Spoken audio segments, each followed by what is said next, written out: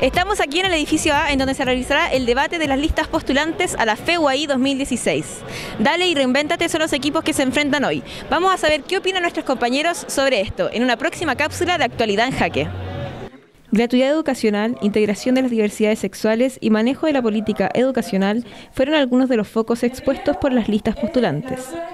El objetivo es ambicioso, lo sabemos, pero lo más importante es fácil. Queremos cambiar las cosas queremos transformar Chile, queremos reinventar nuestros espacios.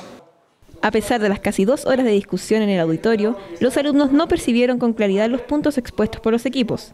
Sin embargo, las ganas de informarse y votar están presentes para el próximo proceso de elecciones.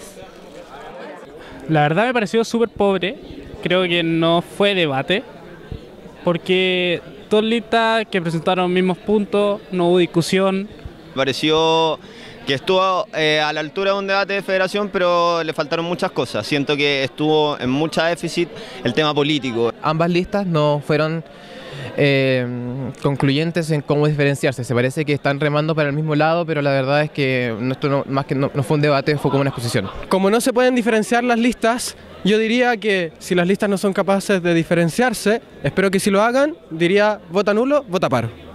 Por favor, todos vayan a votar este lunes y martes. Necesitamos su voto. También vamos a representar el paro, paro reflexivo que tenemos.